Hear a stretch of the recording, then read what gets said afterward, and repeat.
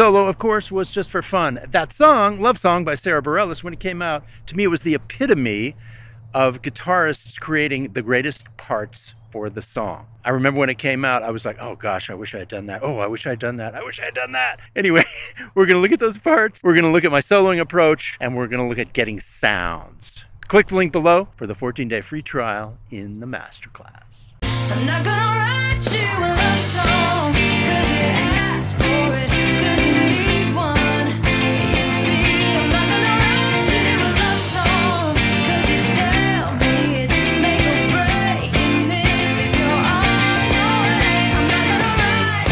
One of my favorite records ever made. When I heard this song, it was like, oh, gosh, I wish I had thought of that. There's a perfect combination of authority and simplicity in these parts, especially here in the chorus.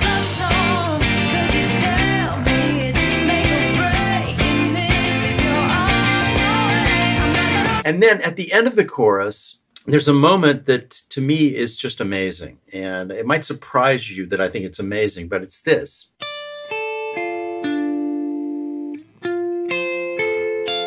Players on this song are friends of mine. Matt Chamberlain on drums, Chris Chaney on bass, Bruce Watson, and Stuart Mathis on guitars. It's produced by Eric Rosse. I've worked with Eric Rosse. We were doing a Chris Isaak record after that, and I said, Eric, who came up with this amazing simple part? He said, well, I did, and I had the guitars double it. It's one of the most effective and satisfying instrumental hooks I've ever heard on a pop song. These are quarter note, very settled, simple parts. These two chords, D minor and F.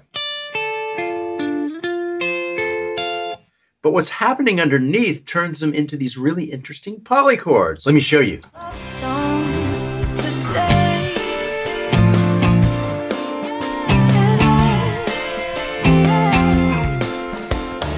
It's every guitar player's job to find a, a great part that lifts the second verse, a new element that changes things and adds a new hook to the second verse. And this is a great example of that. I'll show you.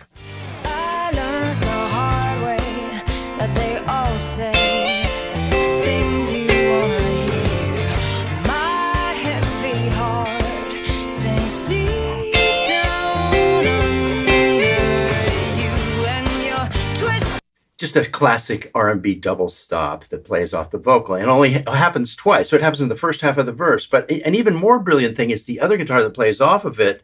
Uh, it's kind of a call and response thing. So that guitar enters with a and then there's a riff, and then a stab. And the thing that really blows me away is the simplicity of this stab. It's an F that just hangs over all the other chord changes, once again, providing something settled that turns into a polychord because of all the stuff that's moving around it. Let me demonstrate that to you. There it is. So let me back up a little bit so I can play that first thing.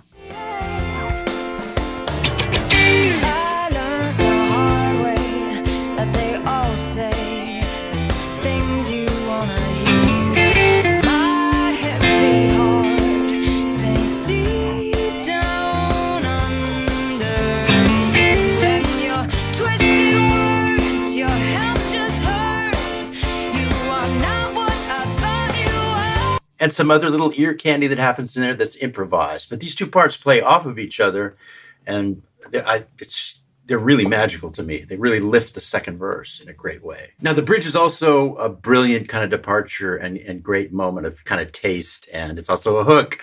Uh, I think I hear a whammy in there, so I turned on my vintage whammy. Trying to not have it glitch too much. The way I achieve that is by picking really, really light. I've also picked up my Fernandes sustainer because the last note of this is the sweetest moment when it just, it sustains over her vocal and it sounds like the happiest, greatest accident. Let's listen.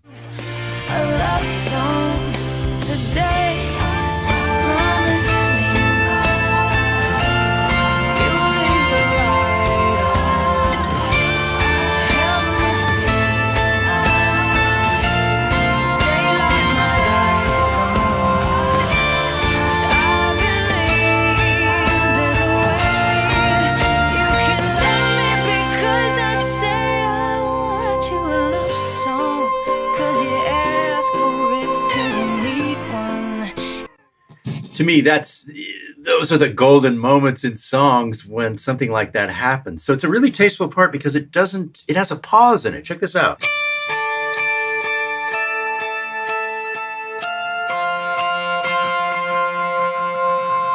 And not till the last phrase does it climb up all the way, then it hits this.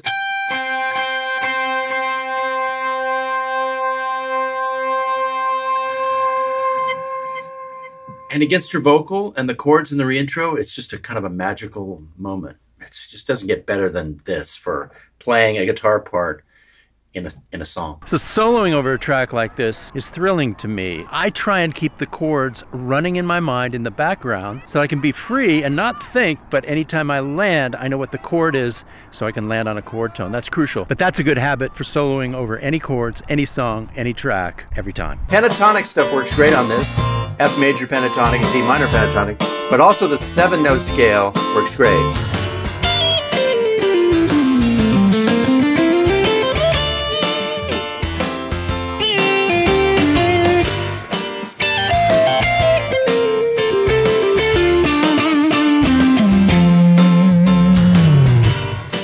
Another thing that really works well is if you just play an F kind of drone, an F chord shape. Check this out.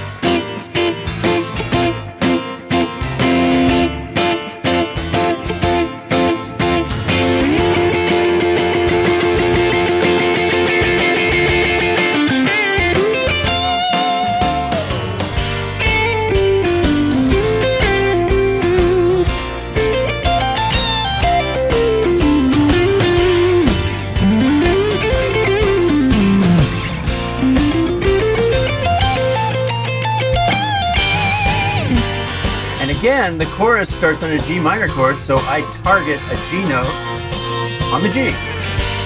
Now, like a lot of great songs, the chorus chords are very similar to the verse chords, they're just rearranged. You still have to land on a G minor chord tone when you restart. There's also a G major twist thrown in. Play an F major.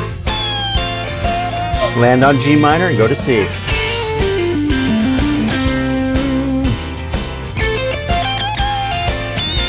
when in doubt, just play strong in F major. Now the G.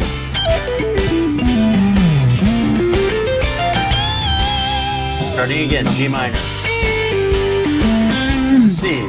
Now just jamming up.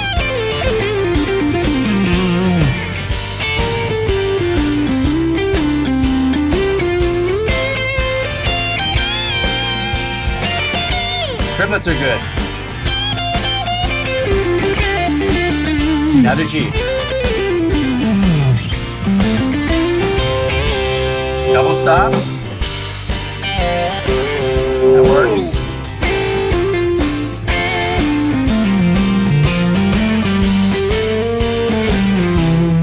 Octaves too.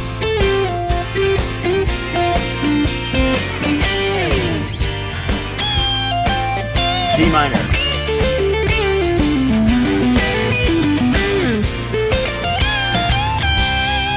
Now the hook.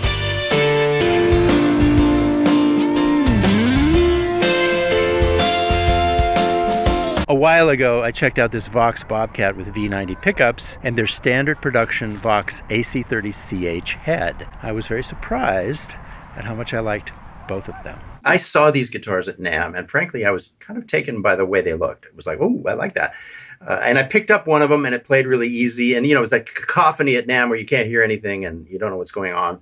But I liked it, and this plays easy too. It's about seven pounds. It's super light. But the thing that surprised me, you know, when you first fire something up, it's usually you know immediately, usually. And this is well. Tell me what you think.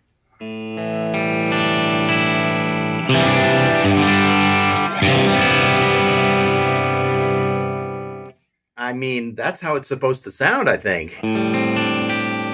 So this is the V90. And I guess the original V90 was the counterpart for the Gibson 335 in the 60s. Now that had a bolt-on neck, so some people didn't want to pay the 300 bucks for this guitar when they could pay the 300 bucks for the 335. So here's the treble pickup.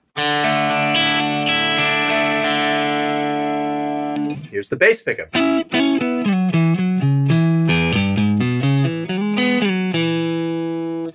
To the middle.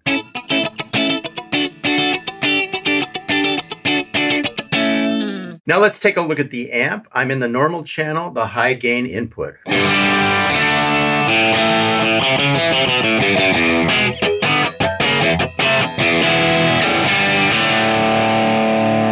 Over to the bass pickup.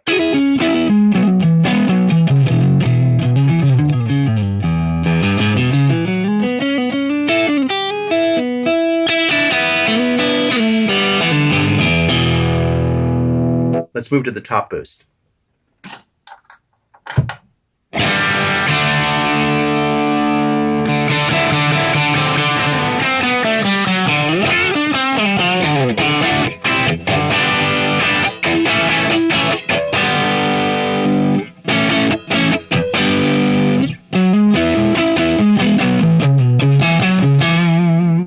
So there you go. Bridge pickup and the neck pickup. Let's move to the middle.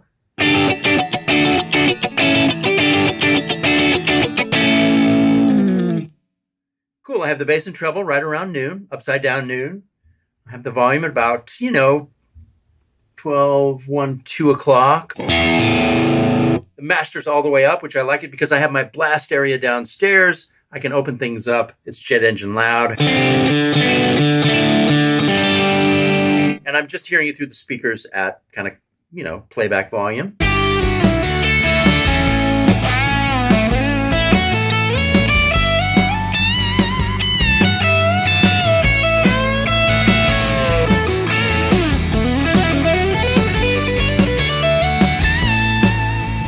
Okay, let's move to the reverb. This amp has reverb in it and it's good.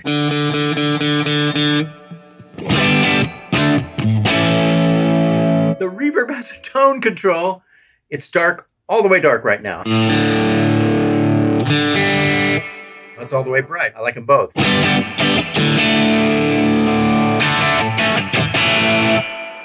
There's something about reverb that's in the amp, the way it blends with the upper harmonics of the distortion. It's a nice kind of sandwich.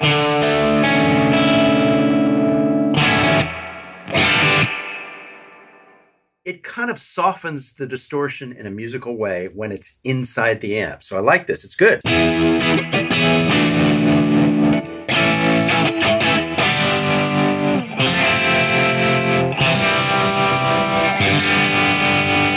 Thanks for watching.